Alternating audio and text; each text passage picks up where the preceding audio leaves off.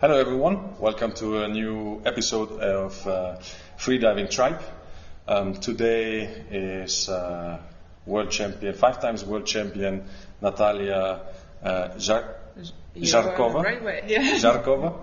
Um, and obviously, we are in a special place today. Uh, we are at Deep Dive Dubai. So, welcome. Thank you. Uh, thanks for having me here. Also, thank you, Deep Dive Dubai, for letting us do the interview here. Um, it's really a fun place, but we are getting to this later. And so, thanks for pu- uh, putting up your creativity. so it's pleasure, pleasure. Um, yeah, tell the viewers something about you. I think not everybody knows you. Um, this year you've been not at the World Championship uh, participating, so tell our new viewers, the viewers who are new into freediving, a little bit about yourself. Quick introduction. Hi. Um, so as Daniel mentioned, my name is Nataliia. Uh, I'm Ukrainian and um, I'm um, more of uh, athlete freediver, at least used to be mm, till last year. Uh, um, I dedicated my freediving to athletic performance. Uh, managed to set few world records, and uh, last year, sorry, this year, uh, decided to take a break from competition and dedicate myself to another part of freediving, uh, being an uh, organizer, more of an instructor. I've been teaching before, but never so focused on this side of things and as I am now. And now my daily life is deep dive Dubai and freedivers of the Middle East. Um, guests from other countries around the world, and um, yeah, that's that's basically my quick portrait. Okay, how did you end up? How did you became actually a freediver? So, what is like your way into the freediving world? And maybe if you have like a sport background, like what is your sport background? Uh, yeah, that's th- those two things are directly linked. I um, I used to be a swimmer, um, was a part of a national team in Ukraine, and somewhere in the age of 17 years old, I quit my national team and I took a break of a couple of years. But then apparently the competitive nature took over, and as soon as I saw weird people with black suits, long fins, doing something odd at the bottom of the pool where I was working part time as a lifeguard. Where was it? It was Which- in Kharkiv. It was in Ukraine, in Yeah. Kharkiv. Um, I has, like I was curious, what are they doing? And uh, then the instructor of that group introduced me to the long fins and somehow allured me into freediving. That like for a while being, I wasn't even sure like I didn't even know that I'm doing freediving. So like I didn't I don't have that romantic story like I watched the Big Blue or I wanted to swim with dolphins all my life or I dreamed to be a mermaid. No, it wasn't my case. It just We had this already a couple of times, so it's uh, refreshing. yeah, okay. So, yeah, I just put the long fins on and uh, it felt great and the breath hold was coming natural, like more or less naturally, I would say. Uh, also quite classy. That static was my least favorite thing in the beginning. Uh, yeah, because as for a swimmer, you gotta be doing something when you're in the water, where you just like doing nothing. Uh, the, that was the biggest challenge. But as soon as I cracked that, everything became more fluent. And up to 2013, I believe, I was more of a pool freediver because I was also more based in Ukraine, training in the pool, occasionally going uh, to Egypt, to the hub for deep training. And then at some point, I switched completely until last year. Now I'm a pool diver again, but different kind of pool. Obviously, okay. So you, at one certain point, you switch to to devs. Um, what is like your your favorite dis- discipline now? I mean, is it devs, some constant weight, for example, or is it maybe still even pool? Um, to be honest, like right now I'm like I'm loving constant weight bifins dives, and uh, that's that was the law from the first sight since 2017. I think that was the year when uh, this discipline was for like introduced Mhm. Officially. like, officially Yeah. like as a separate uh, discipline from diving with a monofin. And I remember my first pair of fins. I called them Ferraris from Molchanovs. It was like still prototypes, and like it was just amazing and unbelievable. And since then, when I discovered bifins can be like same fast and efficient as monofin, I'm in love with that. I don't know. I'm just like I just love the the feeling how it moves, and also it's uh, it's um, like a daily basic like basis saying what I'm doing every day. Yeah. I'm diving with bifins, and I love the tool. And it's it's easy to love the tool when you know how it works, right? Of course, of course. Um, although I'm noticing some curiosity towards static breath hold lately, maybe I will pick up that part of freediving as well. Okay.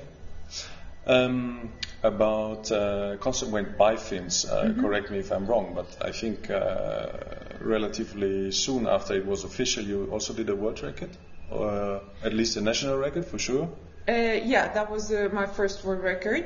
Um, But it was the same time. I It was it also was- the world record.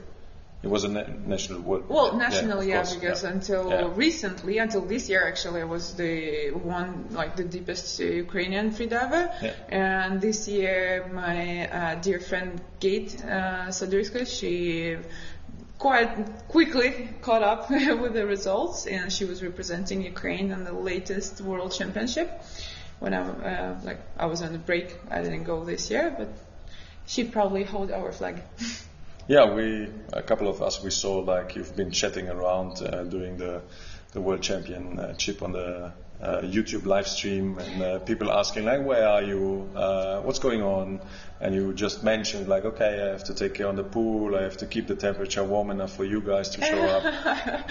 okay, yeah, like my my part doesn't go that far to keep the temperature, but uh, definitely working on uh, setting like on uh, setting up the stage and um, how to say like to develop the place in a way so it can fit freedivers' needs in terms of um, like accommodating the times, providing like stretchy like stretching areas, you know, so it will be like kind of like our home.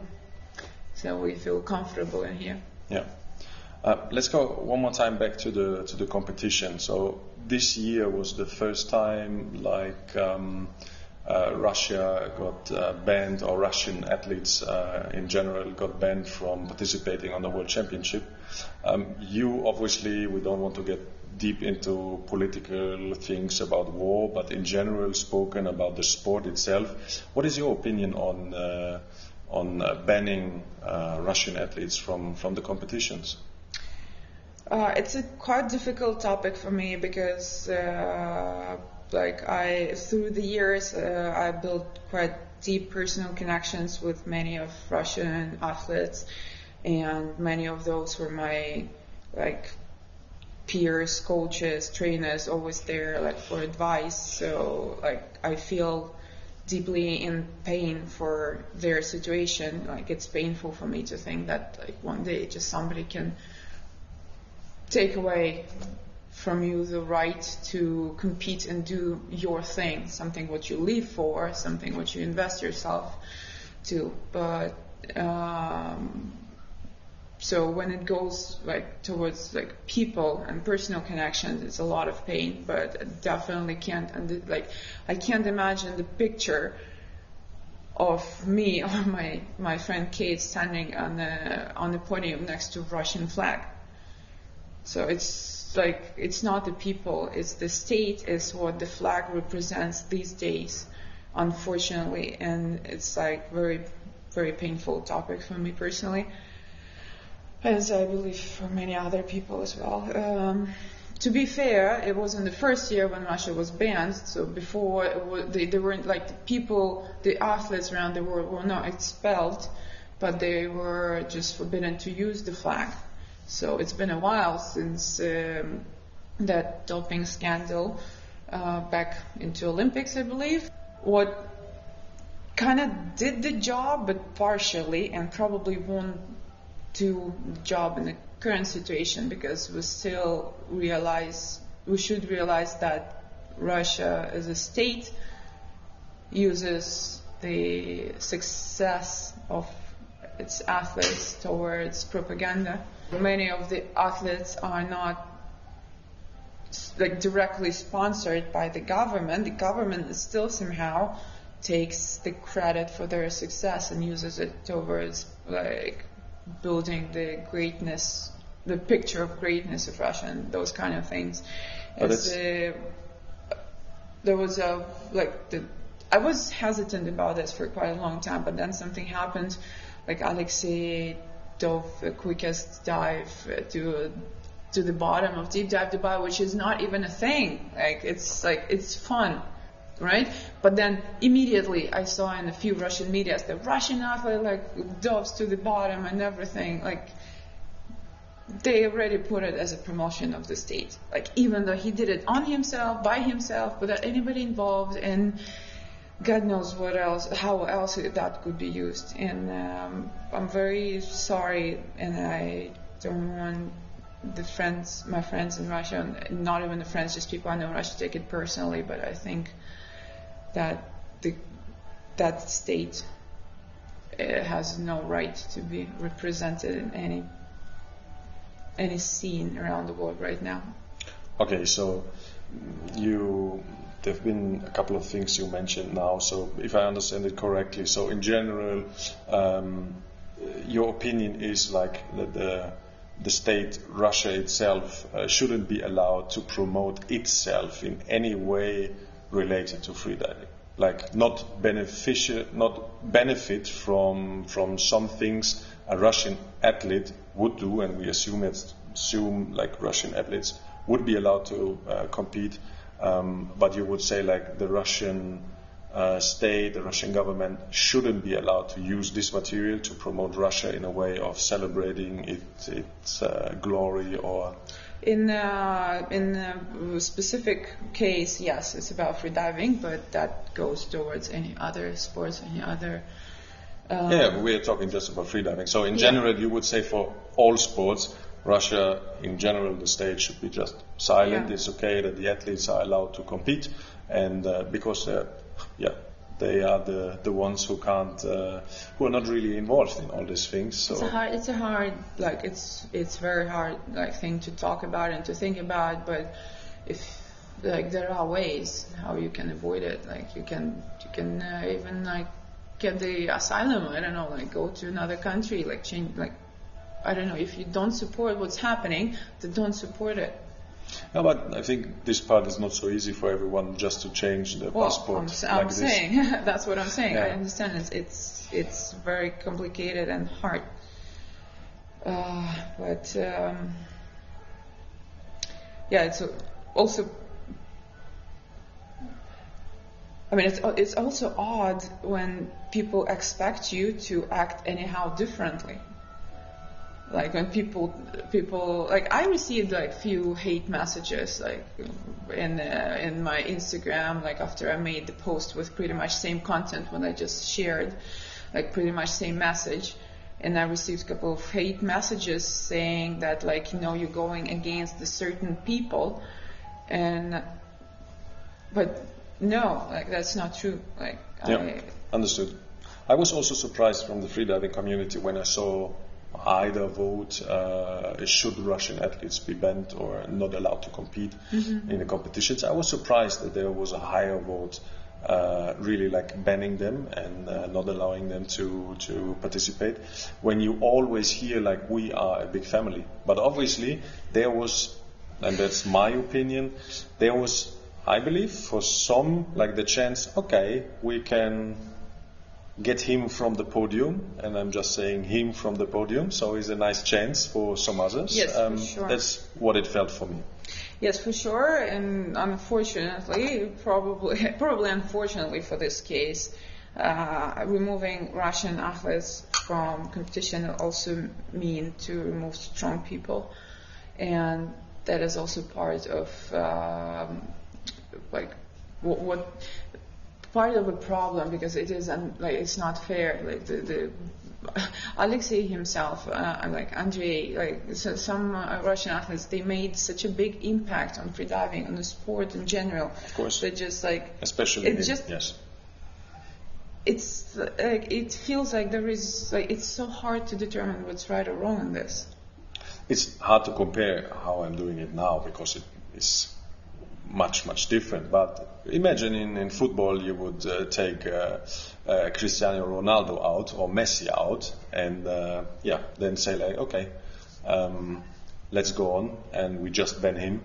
Um, it's one of the, the icons in, in our sport, I believe, and Yeah. uh, removing him had maybe even an, a bigger impact um, than just uh, um, uh, for competition, and even maybe even for the sport that he's not present. And um, I think the, the most, I mean, maybe not the most, but one of the ideas what I had regarding the situation, and I think that could work potentially if we would just remove just like all the flags. Like, uh, it's not possible for CMAS competition because how it's structured, but I believe for AIDA that would be possible. We just eliminate the nationalities, just like let people compete, and because freedivers claim that it's like we're freediving for freediving, we're not freediving for the state. Okay, then like just remove the state. But that also means that some people will not get national records, right? exactly, and there we are at the end. But if we're a family, we're sacrificing something for some for the common good. But how do you fund your athletes as a country um, and at the end getting no result because the result is a global result? So it's it's the same So- with normal sponsoring on a if you, for example, uh, wearing a Molchanov suit and then uh, just remove everything and then um, it's like a plain suit. Nobody will, will see you're wearing Molchanov, means maybe less sales, and it can be any other brand. So it's not sponsored, by the way. Um, and um, you know what I mean. So I understand your, your There is- idea about there it, your concept. uh, I think what you're saying is that like if we if the flags will be removed from competition at once, it will also decrease the potential of the sport. I believe, I would believe so. Yeah, Well, apparently. look at the uh, Mexican wrestling. Quite a show. Like, let's all dress up in the capes, get the catchy nicknames, and just show up there and saying, like, I'm representing myself. That's what I can do. I'm diving in style. I'm not diving for a national record. Yeah, yeah. And then you compete not for a national record, and then we also cut the uh, those national records. I'm sorry to say, I don't mean to offend anybody, but like we all know and aware of situation when somebody dies does like a dive of like within the recreational limits, and that counts as a national record just because this guy from this country done it first time in a row. Yeah. Okay, that is Yeah. not there anymore. You just like you're celebrating first like top five athletes in the competition. Let's It's say. like my favorite in uh, Kamini. This goes out to you. He's from Liechtenstein, and he's the only one. So every time he does on a competition a PB, huh, it's another national record. Let's. well, that's probably going to be a mean joke, but I thought maybe let's contact Russian athletes with ideas of where to apply for citizenship. Okay. Um, in uh, general, removing the flags um, there could be something which would also take off some pressure, like we had in I- AIDA with um, the Taiwanese. China, yeah. Of course. So, yeah, maybe it's a thing we we should think about a little uh, a little bit more. Yeah, no politics, no politics. No, as long as the country is involved, there will be politics. Of course, yeah. So let's jump into the fun part. Uh, you are the one who is responsible. Is it correct to say, like for free diving in in uh, Deep Dive Yeah. Dubai? Yeah. So I've been uh, lucky enough, fortunate enough to to spend now I think two sessions with you already in the pool, and it's a huge playground. Uh, I can say it's amazing. It's uh, many of at least the, the close friends I know. They told me like it's more like a ghost town. It looks like a ghost town. It looks a bit creepy, and no, it doesn't. To be honest, like say. out of out of all three divers who came visitor here, I think only Alexei himself exploited the playground more than you did. So yeah, we Uh, there's something called donuts. We have more. Nothing sugary in there, but uh, yeah, quite a fun part. Maybe you can show this. Yeah, uh, um, I think we can uh, put in some some uh, pictures about the donut. Mm-hmm. So it's more or less like because it's a cylinder and uh, around it there are some caves to explore. Let's put it that way. Uh, Overhead and spaces, quite and- dark and creepy. Yeah, and you gotta be different like levels. really comfortable. hmm different Very levels. I think the deepest one we still need to explore is uh, 40 meters. 40 meter. Yeah. Yeah. So it's 40 So- meter overhead space, and uh, I think you had a chance to feel it today yourself. That Yeah. just diving into overhead at 30 meters is not the same just diving at 30 meter and course. come back. Yeah, yeah, of course. So you should be like really confident, 60 meter diver with a dive time over two minutes to get a chance to sneak back into it. Yeah, I think also to, to enjoy it, to, to Yep. what you should, how yeah, you should yeah, enjoy yeah, it. Yeah, because if you just swim through in the stress, like, it means nothing because you don't see what's happening around. So I, I've been, and many of the viewers most likely also been to Y40, which was the first, uh, let's say, big um, uh, um, deep dive pool, and then we had in uh, The first Basel. one was Nemo 33. I know, but it's 40 meter and not Ah, 3D. that's- and also Nemo, no, no, but Nemo was very, very much restricted, and I think it still Hmm. is uh, getting access. And Y40 was completely open for everyone, and then uh, we had uh, Deepspot in Basel, and now is uh, Deep Dive Dubai since last year September. Yep.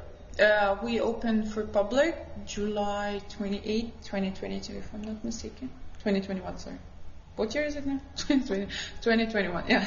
Yeah, and it's uh, 60 meter deep, and it's huge. How many liters we have? Do you know? 14 million gallons, I believe. Okay. Yeah. Okay. We we double check. Um, we will. Um, yeah, tell us also about a little bit about the facility. Um, like, um, of course, we are in Dubai. Everything is maybe a little bit more luxury, or the standard is a little bit higher, which you can Right, see right. and feel everywhere. Um, I will I will show some some uh, pictures or some videos about it. Um, tell us a little bit what you think about the pool, like. Uh, So- facility like Yeah. and of course inside the pool. Uh, so the facility is quite, um, I would call it like cozy. Yeah. So um, with the the charm when you get inside, you feel uh, a little bit like um, being in the Stanley Kubrick's Space Odyssey. I remember that was my first. like feeling first vibe when I got here even before the official opening when Yeah. you travel these corridors with white walls and everything is like you know, odd, a little bit odd shapes, but like good odd and uh, mystic lights, and then these huge windows over the facility where you like you can see the water, so it's not just like a pipe somewhere there that goes down. Like you can um, see pretty much everything. Like today, like right now, there are no divers, but it's quite a lot of fun when you have scuba divers with bubbles and uh, you're just watching it like like as you would have a mountain view like on your Yeah. Somerville or something Yeah. like that. So yeah, uh, I did dive in Y40 before. I haven't visited other deep pools around the world. Uh, our our facility is slightly colder uh, than uh, Y40, what I know some would appreciate because like even for myself, I remember Y40 was like a little bit too much. Um, yeah, so water is warm. 30 degrees. 30, 30 degrees. It's although like not the same 30 degrees as you would feel it in the sea when you're under the sun and like direct sunlight. Because here is 30 degrees water, but then uh, is air conditioned space. Um, to give a recommendation if some of you guys who watch it decide to come, uh, two millimeter wetsuit. Like usually, like the good good thing because of very fresh, like very light water, almost no buoyancy, so you want to wear something. Uh, and it's also, as I mentioned, like not that 30 degrees like it would be under the sun. Uh, we also have those suits. That's exactly the thickness we use. Um, we have uh, very comfortable classrooms with huge plasmas for the courses. So we run all sorts of courses. We currently teach Aida, Molchanov, SPA-D, freediving courses here from zero to hero. Like really, we can provide everything from the first introduction courses towards uh, instructor courses, including all the all the required courses, like additional courses, like emergency first response and such.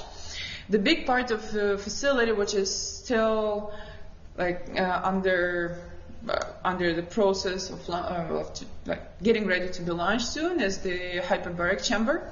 Ah, there will be also one. I can take you there, like to to see that. Right.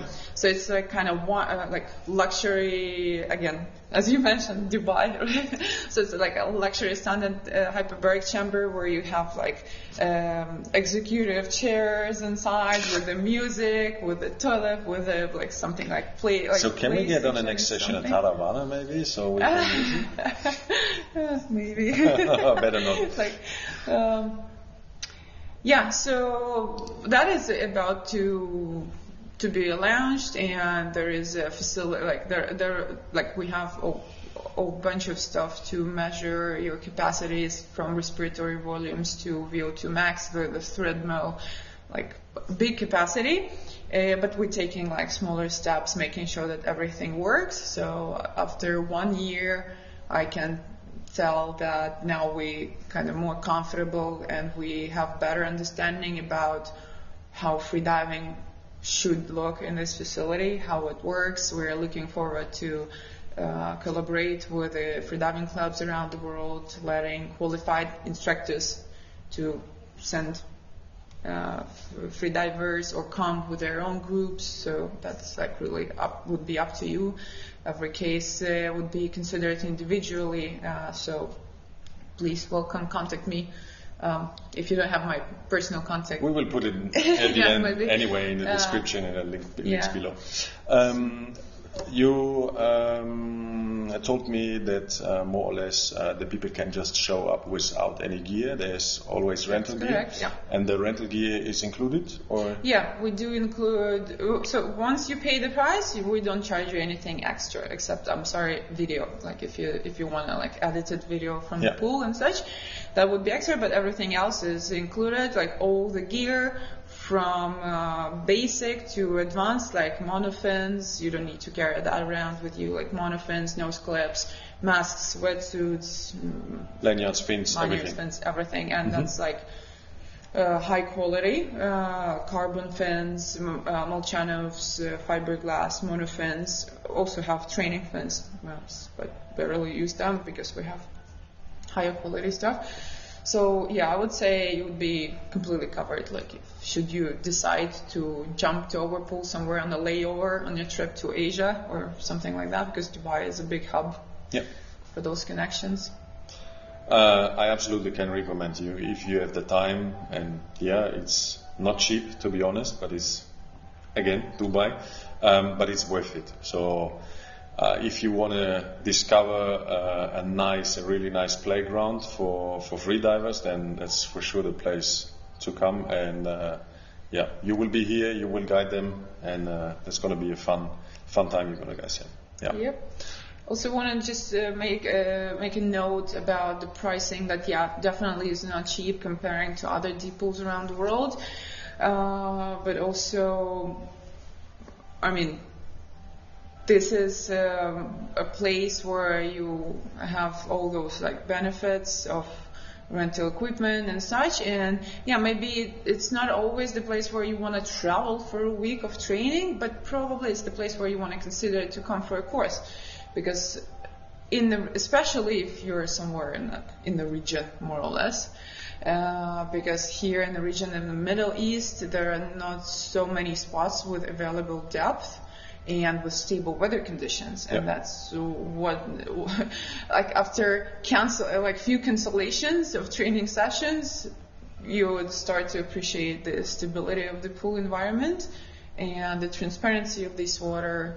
So if guys if uh, some of you guys who are watching this are in middle east uh, consider us as your as your base uh, get in touch. Um, we are open for collaborations and different kind of um, solutions, courses, trainings.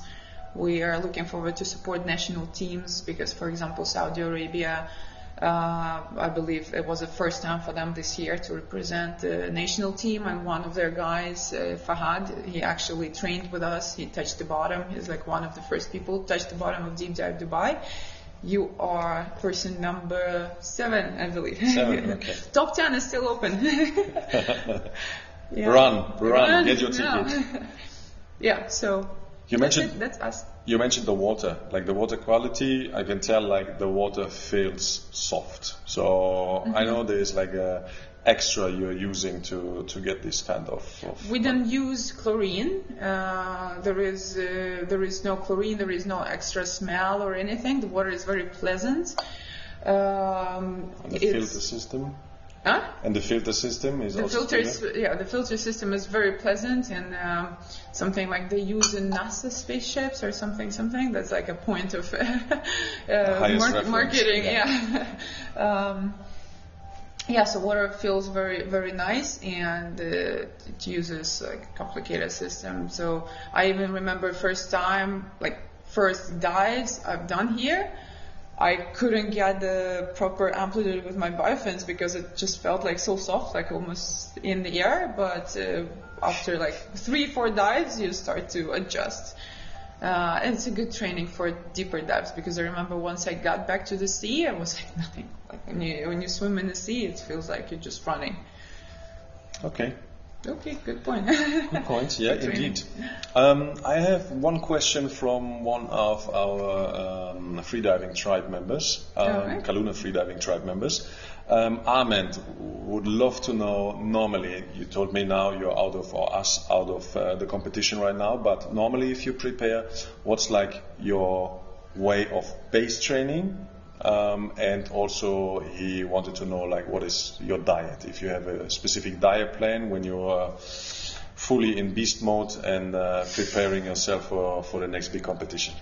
Get a pen, write it down. Where is it? Red wine, sausage, and Swiss cheese. I think Alenka also goes with a lot of wine. Yeah. So yeah. Okay, like if to be serious, a little bit more serious about it. It's, um, so my base training actually always has been uh, like shallower dives with uh, with other free divers when I teach courses. So my the, the way I lived my life till now was uh, staying at the shore uh, of uh, Red Sea in Dahab, and I would teach courses, and sometimes I would have like three sessions per day, four sessions per day, and uh, just a lot of repetitive, shallower dives, and that's what I believe works better than uh, let's say doing like four dives to 60 meters per day. That's um, like for conditioning is like a little bit too much.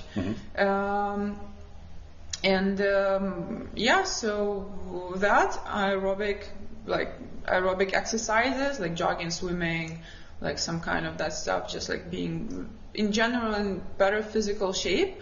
I definitely do not, like, cannot recommend.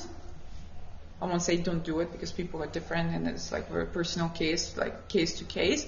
But for myself, I never ch- uh, chosen uh, weightlifting because like I don't I don't feel it beneficial for freediving. My favorite conditioning is uh, TRX actually. So like Okay. body so something where you work with your body in the balance where all your body is connected together because that's the way how you're gonna use it in freediving. You're not like you don't need like strong biceps or like quadriceps or anything. You, ju- you you need to control your body and be in balance and just feel it. Just make it the whole Yep. piece where you can understand how it works. Yeah, so that would, based on my experience, that what I would suggest, like shallow, like a lot of like a lot of shallow dives, good recovery.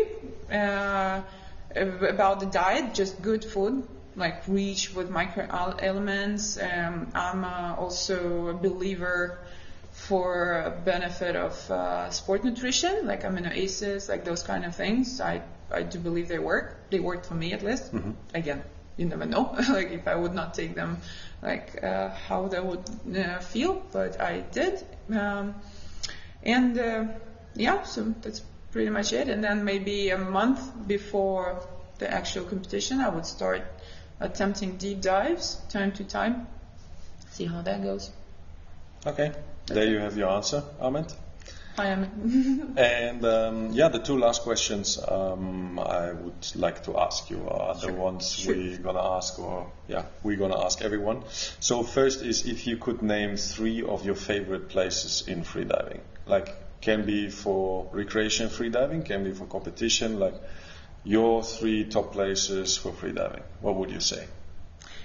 I would say Deep Dive Dubai. Of course. then it will be Kas. I absolutely Kas, adore yeah, Kas. The sea there feels like alive. I don't know. It's just it's very different. Uh, well, and Blue Hole because it's been my home for for many years. The blue hole in Dahab. in Dahab. Yeah, Yeah. it's been my home for many years, and the arch is beautiful and feels very cozy in there. Wasn't it you who actually went through the arch? One of those people, yeah. Yeah, yeah, there's not so many, yeah. Well, depends. like uh, I know there are a few people who done it with variable weight or like assisted somehow. Uh, But you I, did without, I right? did with monofin, yeah. Yeah, impressive. Okay. Thank Um, and the last question would be, um, what is your favorite moment in your freediving? Not saying career, but let's say in freediving for you. Like, can be competition-wise, can be a world record, can be recreational, can be a training session here because I don't know, um, a special person showed up and you've been working with him or her whatsoever. Can be everything. Do you have Well, a? I, I need to, like I should confess here that like I don't have much of free diving experience outside of competition. Like in that terms, Okay. I'm quite like boring person because like give me a line, give me a deep spot, and like I'll be busy. Like I'll keep myself busy for another year or two, you know. uh, but uh, like should, you should join us next time on a freediving liveaboard trip. Yes, I'm really, really looking for those kind of things, and I'm like now when I took a break from competition, I'm looking to like discover Yeah, more. come with us like- to Galapagos. yeah, thank you. Maybe, yeah. um, yeah, so like, so my favorite moment would be from the competition, and that is a dive of a hundred meter. My first hundred meter dive, like ever.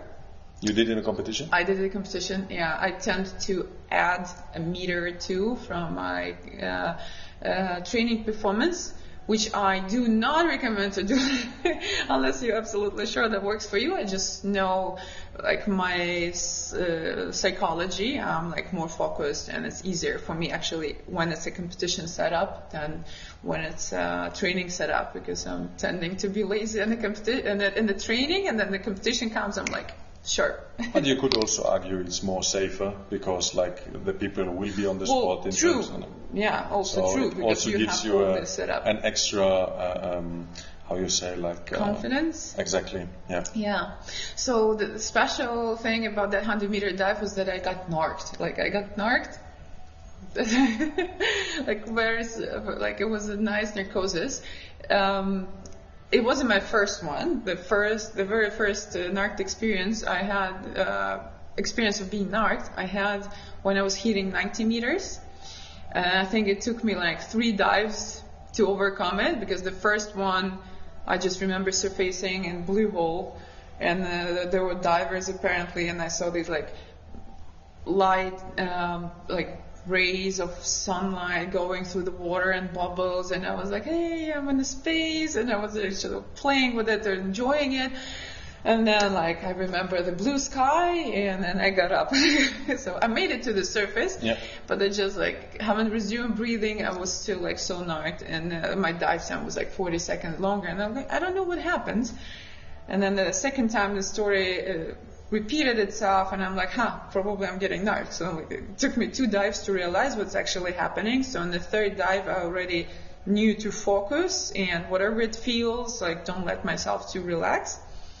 So basically did the same for a 100 meter dive, but somehow that 100 meter dive felt like so much longer, and I really remember my mind splitting like angel and devil. One was telling me like it's so nice here, so pleasant. Have a look around. Say a little longer. Yeah, yeah. And another one will be a swim, bitch. Like I don't know if you need to beep that or not, but that's exactly exact words I was uh, telling myself, even in English. Like so, I made it to the surface, and I still have that footage somewhere where you like I can see myself like you know, from the like wide, eyes wide open, like I'm actually focusing on something, and I'm whoa, it's like a nice trip. Okay, Yeah. tripping.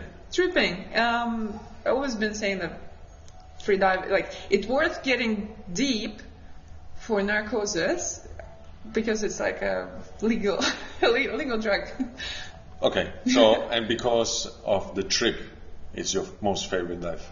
Yes. Or also yes, because was, it was your record and the first time hitting 100. To be honest, no, it was, Was more, trip. more because it was like so trippy. it's so intense, yeah.